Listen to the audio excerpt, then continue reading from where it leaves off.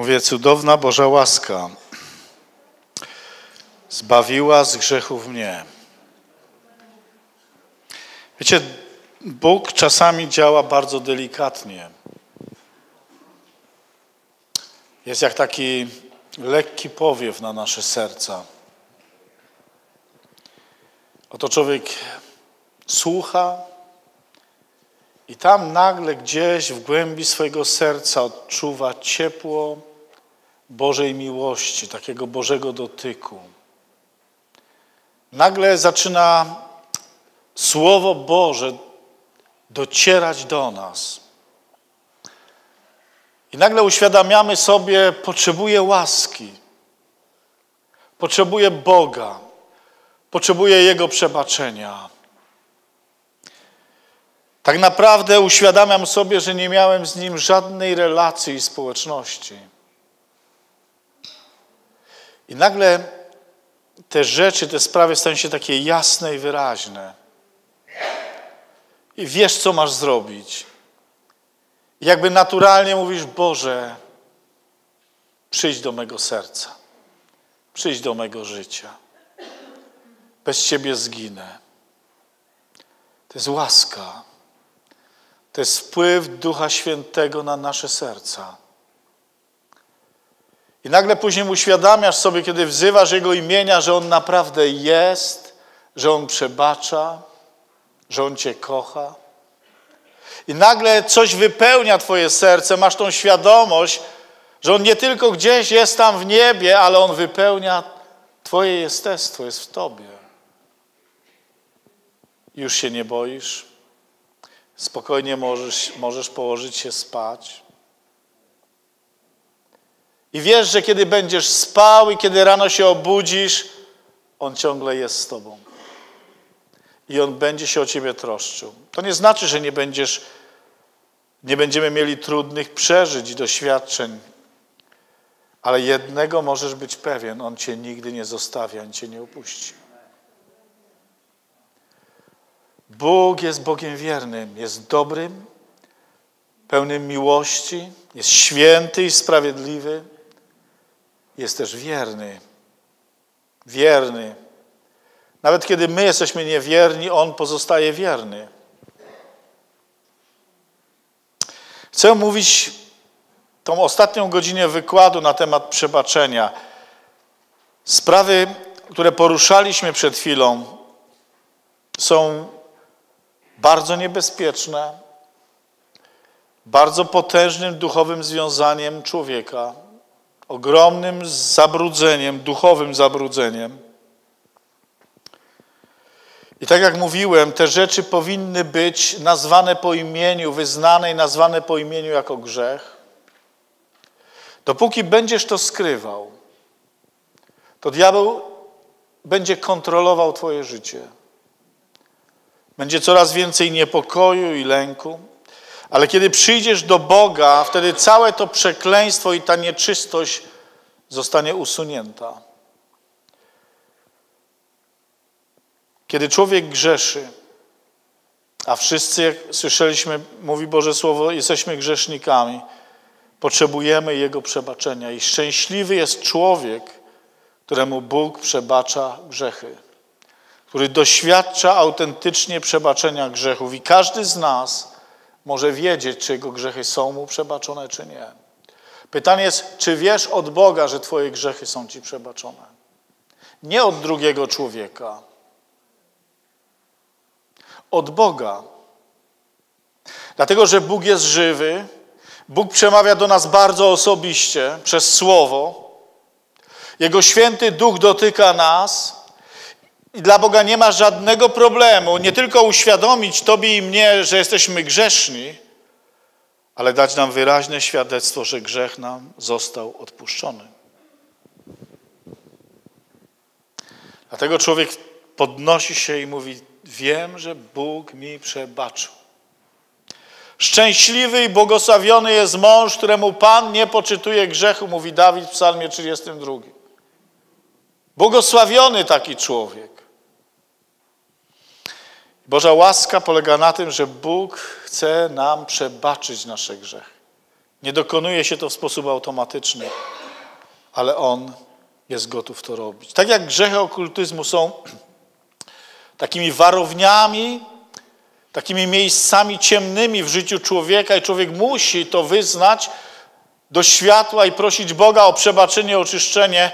Tak dzisiaj chcę mówić na temat przebaczenia czy braku przebaczenia.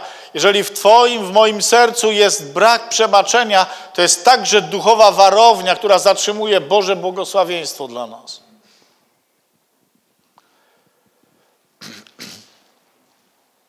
Gdyby nie było przebaczenia ze strony Boga wobec nas, nie byłoby dla nas żadnej nadziei.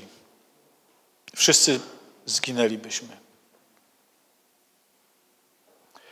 Ale też, moi drodzy, kiedy nie ma przebaczenia między ludźmi, kiedy nie dajemy przebaczenia naszym winowajcom, nie ma szans na odnowienie żadnych relacji.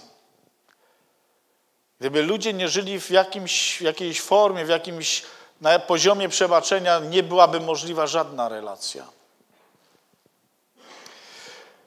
Apostołowie byli bardzo ciekawi, ile razy mają przebaczać. Kiedy mają przebaczać?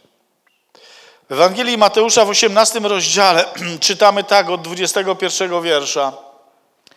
Wtedy przystąpił Piotr do niego, do Jezusa i rzekł mu: Panie, ile razy mam odpuścić bratu memu, jeżeli przeciwko mnie zgrzeszy? Czy aż do siedmiu razy? Mówi mu Jezus: Nie powiem ci do siedmiu razy, lecz do siedemdziesięciu siedmiu razy. A niektóre tłumaczenia podają, że powinno to być oddane do 70 razy 7. Jakkolwiek na dzień 77 razy i też wystarczy, nie? Dlatego Królestwo Niebios podobne jest do pewnego króla, który chciał zrobić obrachunek ze sługami swymi. A gdy zaczął robić obrachunek, przyprowadzono mu jednego dłużnika, który był mu winien 10 tysięcy talentów. A ponieważ nie miał z czego oddać, kazał go Pan sprzedać wraz z żoną i dziećmi i wszystkim, co miał, aby dług został spłacony. Wtedy sługa padł przed nim, złożył mu pokłon i rzekł, Panie, okaż mi cierpliwość, a oddam Ci wszystko. Wtedy Pan ulitował się nad owym sługą, uwolnił go i dług mu darował. A gdy ów sługa wyszedł, spotkał jednego ze swych współsług, który był mu winien sto denarów. I pochwyciwszy, dusił go, mówiąc, oddaj coś winien. Wtedy współsługa jego patrzy na kolana, prosił go, mówiąc, okaż mi cierpliwość, a oddam ci wszystko. On jednak nie chciał, lecz odszedł i wtrącił go do więzienia, dopóki nie odda długu. A współsłudzy jego, widząc to, co zaszło, zasmucili się bardzo i poszedłszy, opowiedzieli Panu swemu wszystko, co się stało. Wtedy przywołał go Pan jego i rzekł mu, sługo zły. Wszystek tamten dług darowałem Ci, boś mnie prosił. Czy i Ty nie powinieneś był zlitować się nad współsługą swoim, jak ja zlitowałem się nad Tobą? I rozgniewał się Pan jego i wydał go katom, żeby mu oddał cały dług. Taki Ojciec mój niebieski uczyni wam, jeśli każdy nie odpuści z serca swego bratu swemu. Oto apostoł Piotr jest ciekawy, jak to wygląda sprawa z przebaczeniem. Jako Żyd wiedział, że liczba siedem jest liczbą Bożą, liczbą doskonałą i dlatego pyta Jezusa, siedem razy mam przebaczyć? To byłoby tak po Bożemu. Ale w odpowiedzi usłyszał coś, czego, nie, czego się nie spodziewał. Jezus mówi nie siedem razy, ale 70 razy 7 albo 77 razy. Kiedy czytam ten fragment, Jezus mówi Piotrowi tak, ja to tak rozumiem, przebaczaj za każdym razem, kiedy jest potrzeba przebaczenia. Nie? Inaczej tego nie potrafię wytłumaczyć. Inaczej mówiąc, bądź człowiekiem, który trwa w przebaczeniu wobec swoich winowajców. Nie chowaj urazy, gniewu i złości wobec tych, którzy Ciebie skrzywdzili.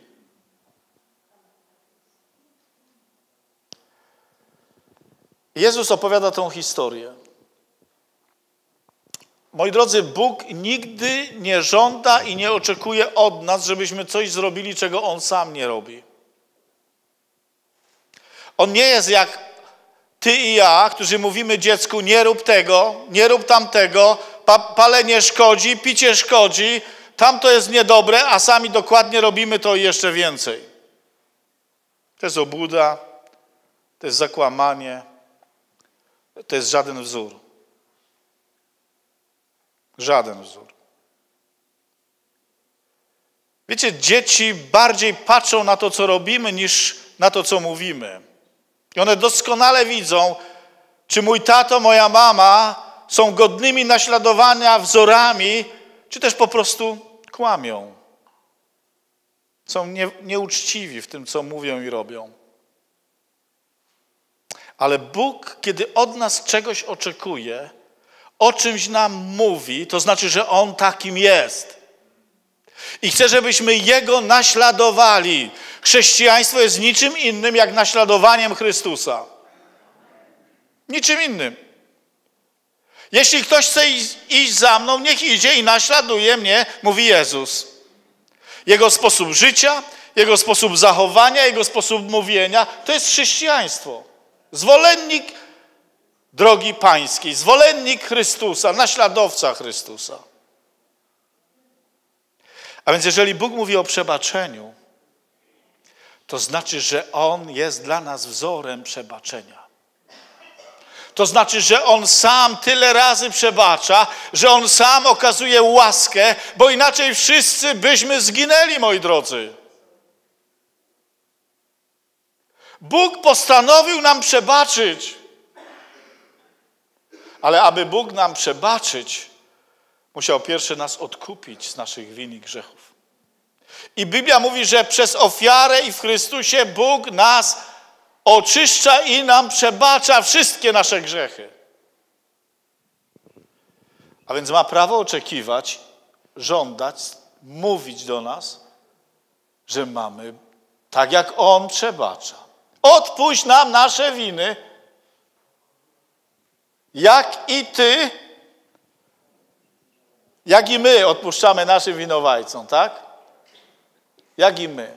Bóg oczekuje, że my będziemy przebaczać, dlatego że On jest Bogiem, który okazuje przebaczenie. A więc tak naprawdę powiedzieliśmy, że Jezus naucza, trwaj w tej postawie przebaczenia. Słuchajcie, jedna mała uraza może urosnąć do ogromnego problemu. Nie? A diabeł jest szpecem od powiększania tego, od wyolbrzymiania tego. O, jak on lubi, jak ludzie nie mogą na siebie patrzeć, jak ludzie się do siebie nie chcą odzywać, jak ludzie na swój widok odwracają się jeden od drugiego, on to lubi. A Bóg mówi: Nie, absolutnie nie, zupełnie inaczej. Bądźcie tymi, którzy przebaczają i trwają w przebaczeniu. Ten obraz 10 tysięcy talentów i 100 denarów. Denar to była zapłata za dzień pracy w czasach Jezusa. Czyli 100 denarów to było 100 dni roboczych.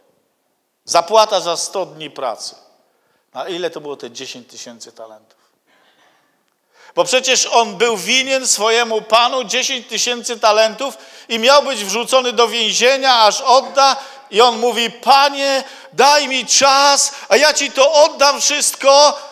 Zachowaj mnie, moją żonę, moje dzieci. I pan mu darował dług. Ile to jest?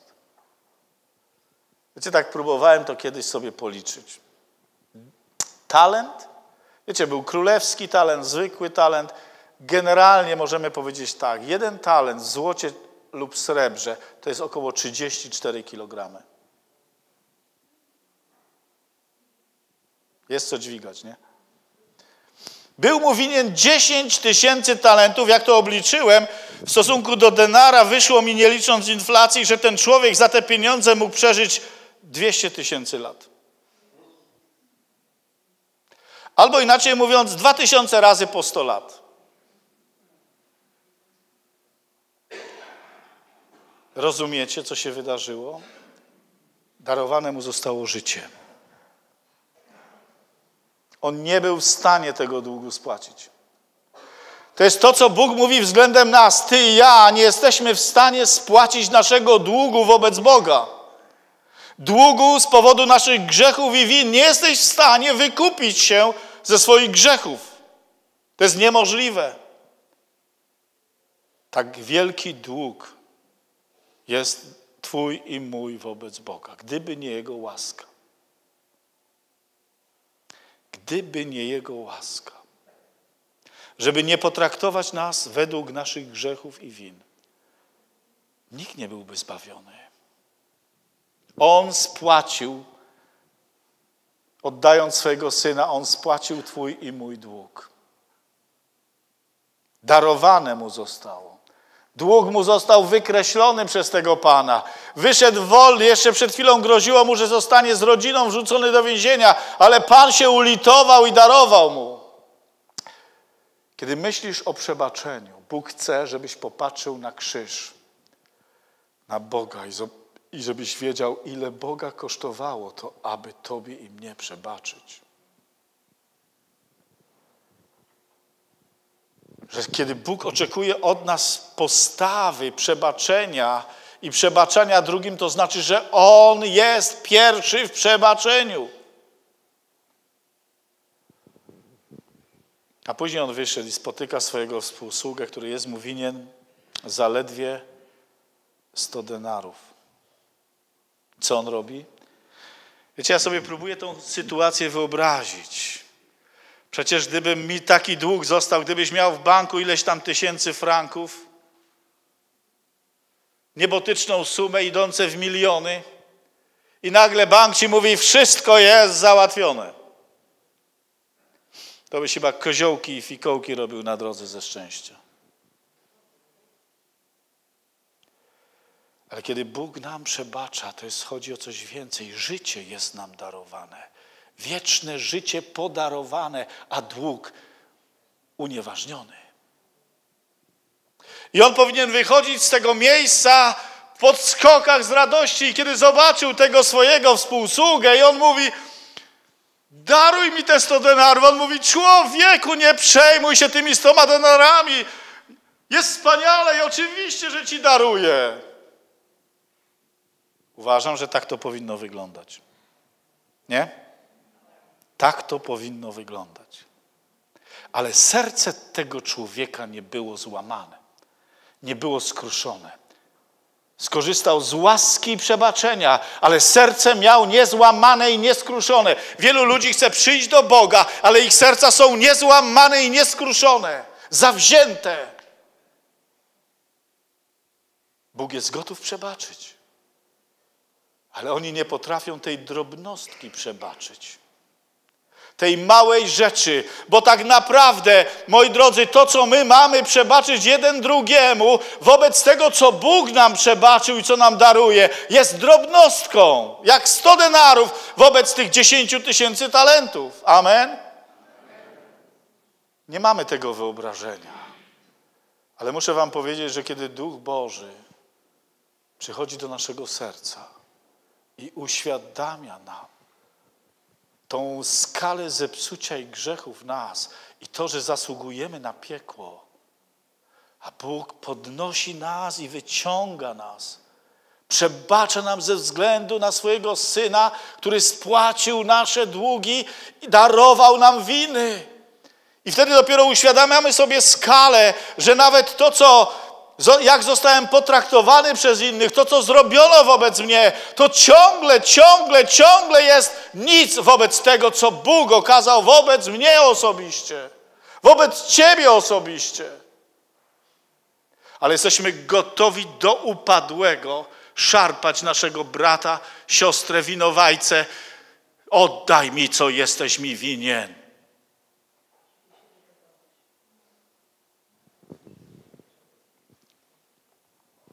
Szczęśliwy jest mąż, któremu Bóg przebacza winy. W psalmie 103 jest napisane tak, On odpuszcza wszystkie winy Twoje. Nie postępuje według grzechów naszych. Chciałbym ten fragment, ten psalm przeczytać, abyśmy widzieli, w jaki sposób Bóg przychodzi ze swoim przebaczeniem do naszego życia. On odpuszcza wszystkie winy Twoje, leczy wszystkie choroby Twoje. On ratuje od zguby życie Twoje. On wieńczy Cię łaską i litością. On nasyca dobrem życie Twoje, tak iż odnawia się jak u orła młodość Twoja. Pan wymierza sprawiedliwość i przywraca prawo wszystkim uciśnionym.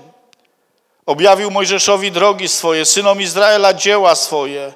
Miłosierny i łaskawy jest Pan, cierpliwy i pełen dobroci, nie prawuje się ustawicznie, nie gniewa na wieki, nie postępuje z nami według grzechów naszych, ani nie odpłaca nam według win naszych, lecz jak wysoko jest niebo nad ziemią, tak wielka jest dobroć Jego dla tych, którzy się Go boją.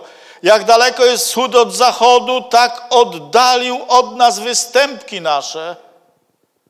Jak się lituje ojciec nad dziećmi, tak się lituje Pan nad tymi, którzy się Go boją.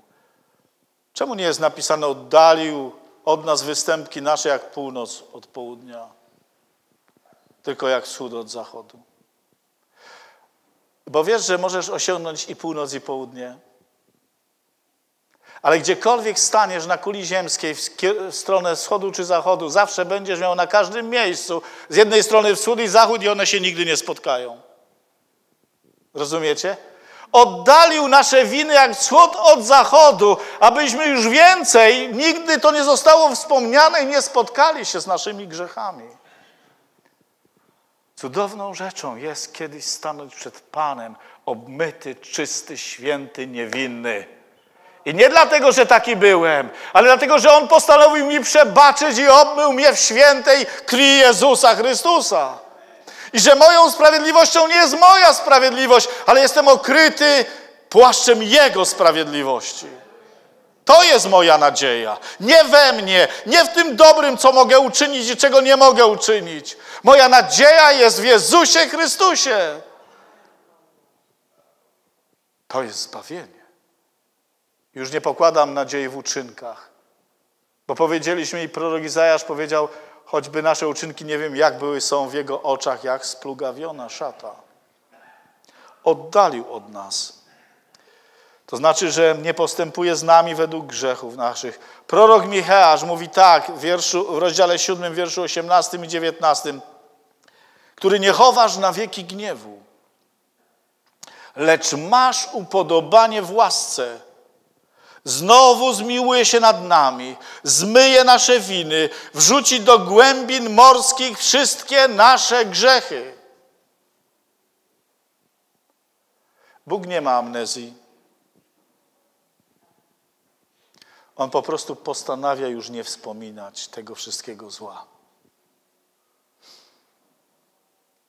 Po prostu postanawia nie wspominać. Głęboko wrzucił nasze grzechy w głębinę morską nie wiem, rów mariański ma około ile? Ponad 8 tysięcy metrów. Więcej, 11. 11, sorry, 11 tysięcy. Chyba tam jeszcze nikt nie dotarł. Na księżyc tak, ale tam nie. A on wrzuca Twoje i moje grzechy w głębinę morską, tam w najgłębsze miejsce, aby ten grzech nigdy nie został wspomniany. To jest łaska. To jest cudowna Boża łaska, o której śpiewaliśmy, o której grupa śpiewała. Cudowna Boża łaska. Czy ona czasami ta pieśń została napisana przez handlarza niewolników, który się nawrócił? Anglik, który nie mógł znieść. Pierwszy handlował niewolnikami, ale Bóg do niego przemówił podczas sztormu. Wydawał się, że to jest jego koniec i zaczął wołać do Boga, aby mu przebaczył grzechy a później walczył o to, aby znieść niewolnictwo. I napisał pieśń, cudowna Boża łaska ta zbawiła z grzechów mnie. Ile razy mam przebaczać? Pomyśl.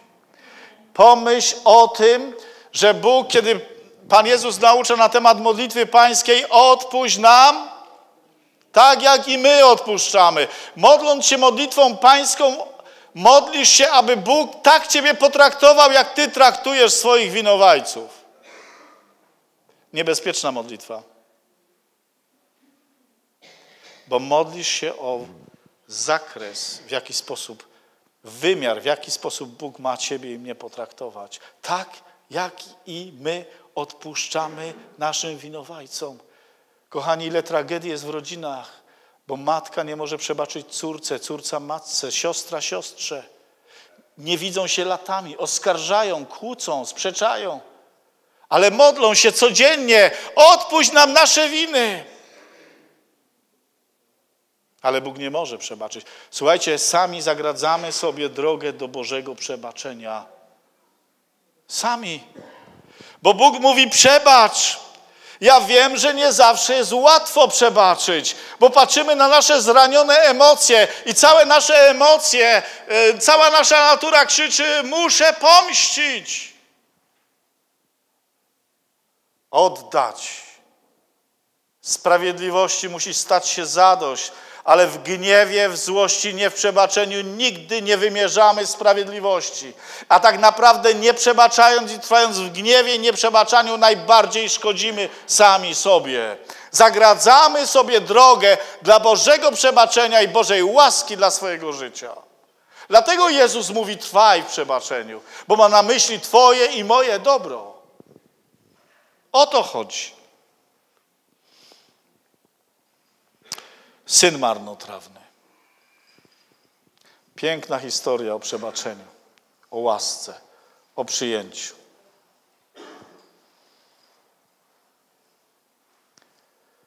Ojcze, daj mi to, co na mnie przypada. Ja wiem, jak sobie życie poukładać. I znacie tą historię. Skończyło się tak, że dopóki miał pieniądze, miał kolegów i przyjaciół i przyjaciółki. Roztrwonił wszystko jak stwierdzili, że już nie ma, to stracił i przyjaciół, i przyjaciółki. Cieszył się, kiedy mógł zjeść to, co jadły świnie, które pilnował. I postanowił wrócić do ojca. Tam jest takie piękne słowo: wejrzał w siebie. W siebie. W siebie. Wiedział, że totalnie zawiódł. Już swoje otrzymał. Zranił ojca, ale postanowił wrócić. Może ojciec się ulituje. Jest brudny i śmierdzący i tak dalej. W łachmanach i idzie. A ojciec, on o tym nie wie, ale ojciec prawie codziennie wygląda i patrzy, czy jego marnotrawny syn nie wraca. I kiedy zobaczył go z daleka, ojciec wybiegł na jego spotkanie. Obejmuje go synu. A on pada, mówi: Ojcze. To jest prawdziwe upamiętanie.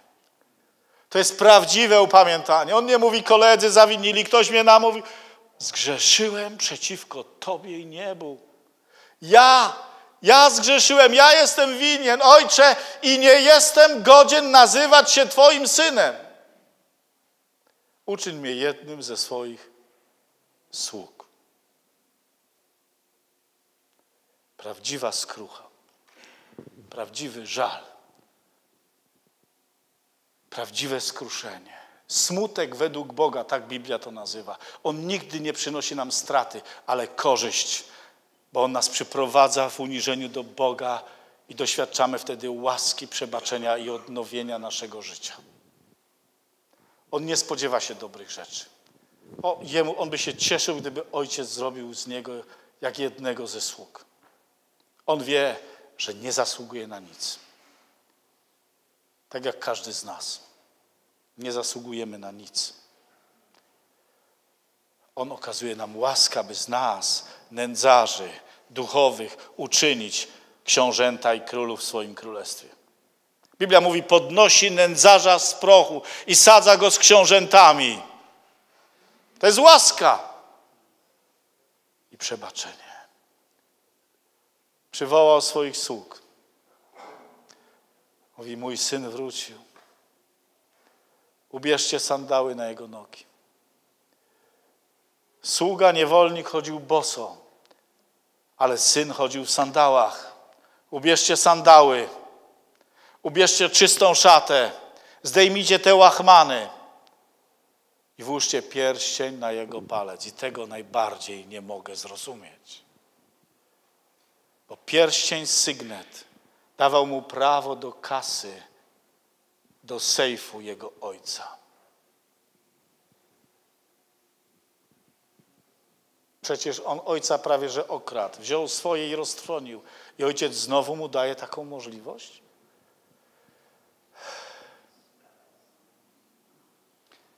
Przebaczenie. Ojciec wie, że jego serce jest skruszone. Nie sądzę, że on z powrotem wykorzystał to w, w ten sam sposób, a jeżeli zrobiłby tak, straciłby już w ogóle wszystko.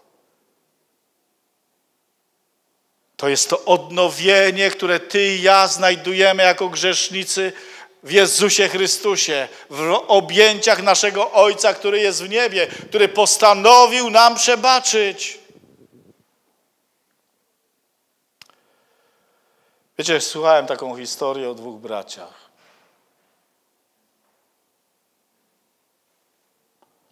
Jeden był zabijaką, bandytą, a drugi był porządnym, młodym człowiekiem.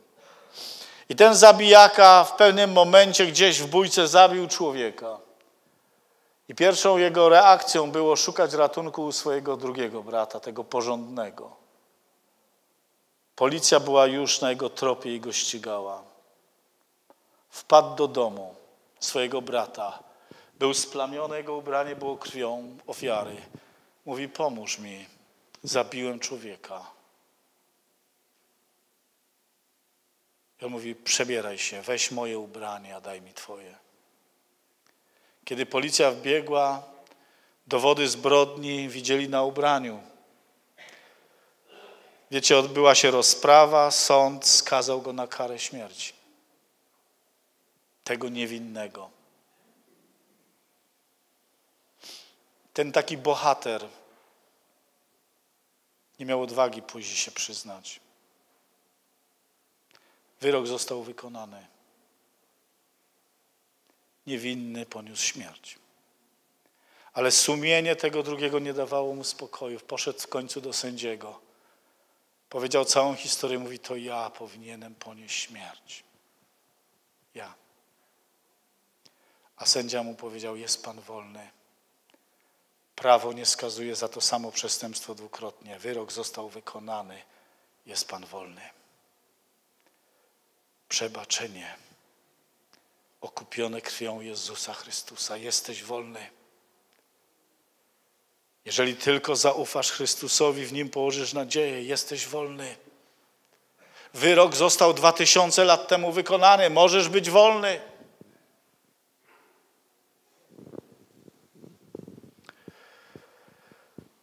Moi drodzy, powiem tak, żeby nienawidzić, żeby mieć złość, gniew, chęć rewanżu, do tego nie trzeba wiele odwagi i siły. Nie? To jest takie naturalne. Ale żeby przebaczyć, żeby okazać miłosierdzie, żeby błogosławić. Czy wiecie, że Bóg syła deszcz na dobrych i złych i słońce go świeci dla dobrych i złych? Tak nauczał Jezus. Cały czas okazuje łaskę. Oczywiście, że przyjdzie czas, kiedy będziemy musieli zdać sprawę ze swojego życia i odpowiedzieć na to najważniejsze pytanie, co zrobiłeś z moim synem, którego oddałem za ciebie, czy w nim położyłeś swoją nadzieję ufność, czy nie. Bo jeżeli odrzuciłeś jego syna, spotkasz się z jego gniewem, sądem z powodu grzechu i odrzucenia jego syna. Ale żeby przebaczać, trzeba niesamowitej siły. A wierzę, że Bóg daje tą siłę. Kiedy kończyła się II wojna światowa, Japończycy w końcu się poddali. Jeńcy, żołnierze brytyjscy, jeńcy w Indochinach, którzy byli tak niesamowicie wyniszczani, mordowani przez ciężką pracę, poniżani przez żołnierzy japońskich. Kiedy ogłoszono, że jest Japonia skapitulowała, strażnicy japońscy stanęli jak sparaliżowani. Spodziewali się tylko jednego rewanżu ze strony jeńców brytyjskich. Rozszarpią ich na miejscu. Ale stała się dziwna rzecz. Dlatego, że wcześniej, w czasie tej niewoli, rozprowadzono fragmenty Pisma Świętego po barakach. Wielu ludzi swoją relację z Bogiem naprawiało i, i, i oddawało swoje życie Chrystusowi. Kiedy ogłoszono, że jest koniec wojny i kapitulacja Japonii, wszyscy ci jeńcy zebrali się w jakimś namiocie czy baraku i stanął jeden z nich, nie wiem czy oficer, i poprowadził tych jeńców w modlitwie Ojcze Nasz, aby podziękować Bogu, że skończyła się wojna, że nareszcie są wolni, skończyła się udręka i zaczęli się modlić, Ojcze nasz, który jesteś w niebie, święć się imię Twoje, przyjdź królestwo Twoje, bądź wola Twoja. Jak w niebie, tak i na ziemi, chleba naszego. I doszli do tego momentu i odpuść nam nasze winy, jak i my. I cały obóz, cały barak zamilkł. I on zaczyna jeszcze raz. I dochodzą do momentu, odpuść nam nasze winy, jak i my. Cały barak zamilkł.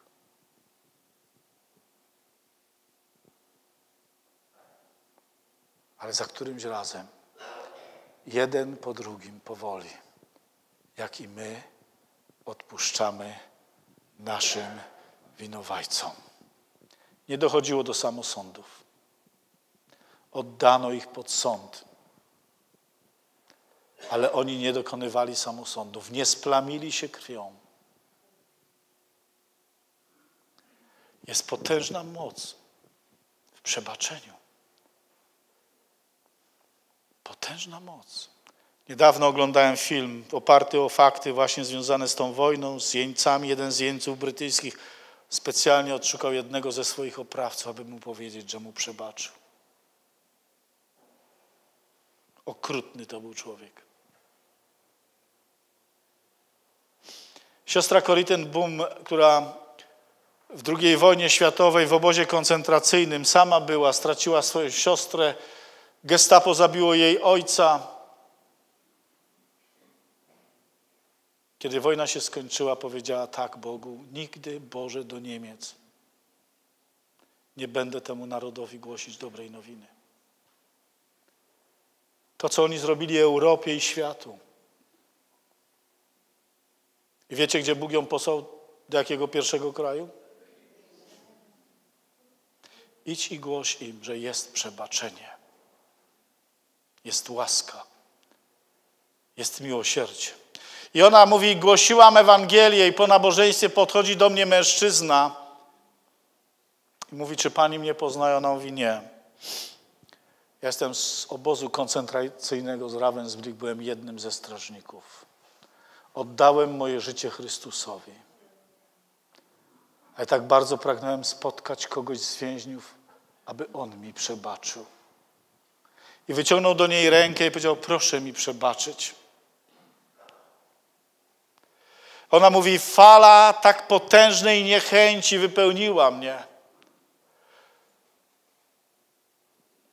Opuściła głowę i tak sobie pomyślała: Nigdy, nigdy. A on stał i trzymał tą rękę, mówi: Proszę mi przebaczyć.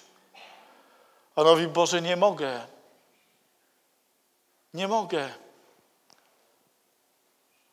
Ale w pewnym momencie Duch Święty do niej mówi: Nie patrz na swoje emocje, uczucia, poddejmij decyzję, aby przebaczyć wbrew temu, co czujesz. I powoli, powoli wyciągnęła rękę, podała, mówi: Przebaczam. Kiedy to uczyniła, mówi, fala Bożej miłości wypełniła mnie. I już nie na zasadzie, że tak podjęłam decyzję wbrew sobie, wbrew swoim uczuciom, ale mogłam wręcz z miłością patrzeć na tego oprawcę, na tego człowieka i powiedzieć: Przebaczam. Jeśli nie przebaczycie ludziom ich przewinien, mówi Jezus, I Ojciec wasz, który jest w niebie, nie przebaczy wam waszych przewinień. Tak mówi Ewangelia. Tak nauczał Jezus. Jeśli nie przebaczycie serca, to i Ojciec wasz niebieski wam nie przebaczy. Grzechy okultyzmu są straszne, ale grzech nieprzebaczenia, trwania w urazie, w nieprzebaczeniu jest tak samo straszny. Zabija nas duchowo, oddziela od Boga, sprawia, że nie możemy korzystać z łaski, z Bożego przebaczenia. Dlatego Bóg wzywa nas, abyśmy przebaczali. Dlatego Bóg mówi: Nie oddawaj złem za złe, ale za złem oddawaj jak dobrym. Bóg mówi: Ja kiedyś dokonam sprawiedliwego sądu i to będzie sprawiedliwy sąd, ale kiedy ty zaczniesz wymierzać sprawiedliwość, poniesiesz porażkę, bo nie będziesz sprawiedliwy w tym, co robisz. Ale nie tylko, że nie będziesz, ale dasz przystęp diabłu, który wypełni ciebie emocjami, uczuciami, zachowaniem. I to, co myślałeś, że na początku tylko powiesz parę słów, może się skończyć zupełnie tragicznie. I nieraz tak jest. Bóg mówi: Sąd do mnie należy. I słuchajcie, kiedy Bóg mówi, że mamy przebaczać, to wcale nie znaczy, że mamy zgadzać się, żeby nas obrażano. Ale Bóg dla naszego dobra mówi: Ty przebaczaj, wiedz jedno, ja w pewnym momencie, ja dokonam sądu i to będzie sprawiedliwe. Wiecie, taki mały przypadek w moim życiu. Mieszkaliśmy z żoną zaraz po ślubie, wynajmowaliśmy taki mały pokój. No, mały, może nie był mały, bo mieszkaliśmy w mniejszym na początku. To było 16 metrów kwadratowych z dostępem do kuchni.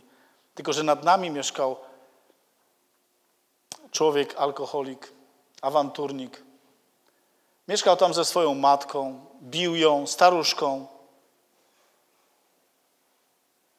I pewnego razu, kiedy zobaczyłem, że on szarpie tą matkę, wybiegłem na górę, żeby go odciągnąć. I on wtedy pędem rzucił się za, za mną. Mówię tak, jeszcze nigdy tak szybko nie uciekałem. Zakręt na schodach brałem. Byliśmy sąsiadami. I obudziłem się rano. Przecież wi widzieliśmy się, przechodziliśmy po tej samej ścieżce do tego samego domu. I czytam: Nie oddawajcie złem za złe. Błogosławcie tych, którzy was przeklinają. Tak jest napisane? Albo będę posłuszny Bogu i będę w praktyce stosował to, co mówię i co mówi Boże, albo nie, Boże Słowo, albo nie. I powiedziałem tak, mogę się nie odzywać do tego człowieka. Traktować go jak powietrze. Ale powiedziałem, nie, będę go błogosławił. Będę się mu kłaniał. Będę go witał. Halleluja. Bóg daje nam zwycięstwo. I wiesz, kiedy zaczynamy żyć według Bożego Słowa, wtedy masz Boga za sobą, który daje ci moc i zwycięstwo i rozprawia się z tym, co jest niewłaściwe. Ile razy mam przebaczyć?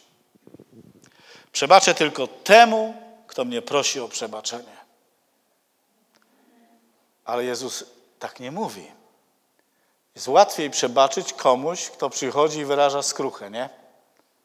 Ale kiedy nie wyraża skruchy.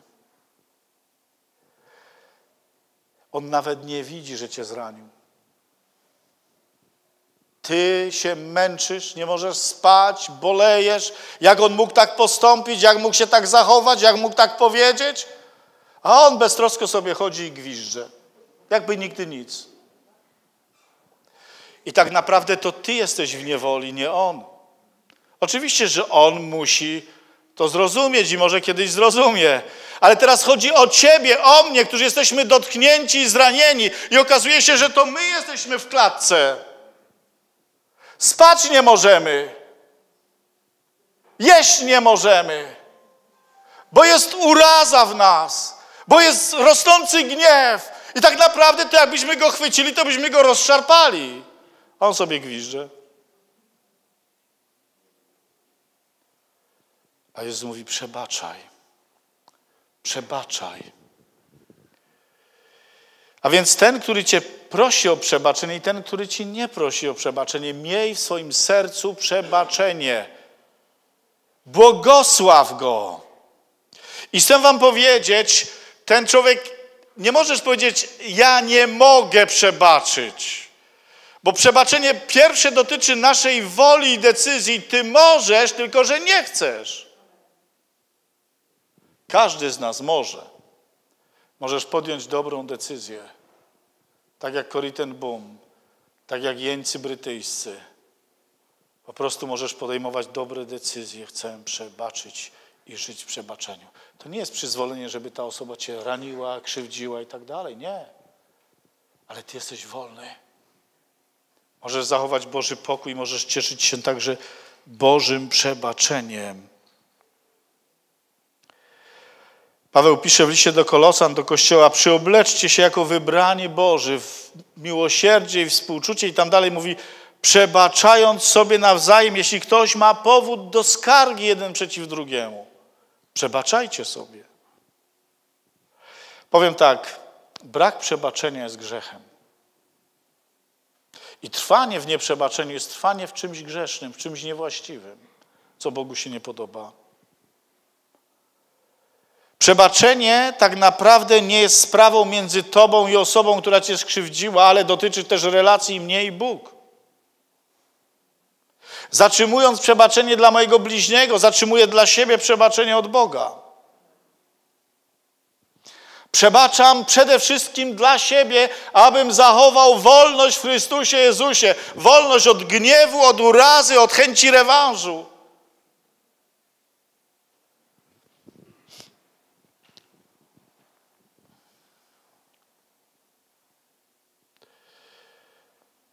Słowo Boże mówi, dzieci moje to wam piszę, abyście nie grzeszyli. To jest to, ta ochrona. Ten, który nas krzywdzi, nie może czuć się zachęcony, żeby dalej nas krzywdził. A jeżeli niech się nie upamięta, a my czynimy mu dobro, to wiecie, że węgle rozżarzone kładziemy na jego głowę. Przebaczenie jest postawą pozwalającą nam przyjmować ludzi w naszych relacjach z ich słabościami i ułomnościami. Wszyscy upadamy. Wszyscy zawodzimy. Wszyscy potrzebujemy przebaczenia. A więc Bóg wzywa Ciebie i mnie, przebacz tym, którzy Cię skrzywdzili. Nawet jeżeli tego nie widzą, nie przychodzą Cię przepraszać, trwaj w przebaczeniu. Przebaczenie jest niczym innym jak danie szansy drugiej osobie. Pozwala odbudować zerwane, zepsute relacje. Tak jak z Bogiem. Upadam, grzeszę, ale to, że mogę liczyć na Jego przebaczenie, On pozwala mi na nowo z sobą nawiązać relacje i społeczność, prawda? Nie mówi, wiesz, 50 razy miałeś, to był Twój limit i koniec. On nam przebacza. Ilekroć do Niego przychodzimy, On nam przebacza. Jest pełen łaski i dobroci. Odkryłem taką rzecz. Po pierwsze, nie mów, nie mogę, bo to jest nieprawda. Pierwsze to jest skierowane do Twojej, do mojej woli, nie do emocji. Emocje będą wymagały często miesięcy, a może lat, aby zostały uleczone. Tak? Ale wolę moją wolę mogę poddać pod posłuszeństwo Słowa, powiedzieć: Boże, ogłaszam przebaczenie. A skoro ogłaszam przebaczenie, to teraz nie życzę źle tej osobie, ale w Twoim imieniu chcę ją błogosławić i ją błogosławię. I powiem Wam, coś odkryjecie. Zobaczycie Boga w akcji. On nie tylko będzie uzdrawiał nasze zranione wnętrze i emocje, ale sprawi, że Bóg zacznie dotykać tych, którzy zawinili wobec Ciebie i będzie pracował nad ich sercami. I może doczekasz takiej chwili, że będą pokutować i wzywać Boga i oddadzą swoje życie Chrystusowi. I może doczekasz takiej chwili, że przyjdą i powiedzą: Wybacz mi, tak bardzo źle Cię potraktowałem. A nawet jeśli nie przyjdą, wiedz jedno: Ty ciągle będziesz wolny i będziesz odbierał Bożą łaskę i Boże przebaczenie. Uwolnił go i dług mu darował. A jeżeli masz problem, pomyśl: Boże, Ty mi przebaczyłeś tak wiele, darowałeś mi życie, to to, co ja mam przebaczyć, jest tak niewiele wobec tego, co Ty mi przebaczyłeś. Chcemy się modlić. Jest czas, abyśmy podejmowali decyzje. Chciałbym, żebyście pochylili wasze głowy.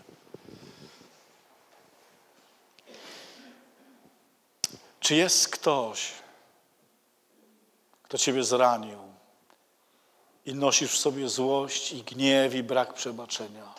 Z jednej strony chciałbyś iść za Bogiem, ale to jest tak jak kamień, który zagradza Ci drogę do wyjścia na wolność. Nie pytam, czy możesz, bo możesz. Bo gdyby tak nie było, Bóg by o tym nie mówił. Bóg nie żąda od ciebie czegoś, czego sam nie robi wobec nas. Czy chcesz być podobny do Niego, który okazuje łaskawość i przebaczenie? Żeby Bóg uzdrowił Twoje wnętrze, a też żeby Bóg sprawił w swojej łasce, żeby uzdrowił też Twoje relacje z tymi, którzy skrzywdzili Ciebie. Często dzieci nie mogą przebaczyć rodzicom, często nawet ludzie nie mogą po śmierci danej osoby przebaczyć komuś. I ona już dawno nie żyje, a on ciągle jest w klatce nieprzebaczenia. I nie może spać, i nie może normalnie żyć, bo jest nieprzebaczenie w jego sercu.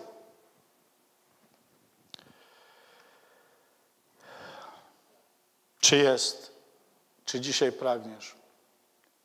Powiedzieć, żeby Bóg przebaczył Tobie, że do tej pory trzymałeś, nie przebaczyłeś, ale dzisiaj chcesz wyznać przed Bogiem, że przebaczasz i chcesz się modlić i błogosławić tą osobę, ktokolwiek by to był, żeby Bóg ją błogosławił. Jeżeli, jeżeli jest to, jeżeli coś takiego przeżywasz, zapraszam Cię i wzywam Cię, abyś teraz podjął decyzję odnośnie przebaczenia.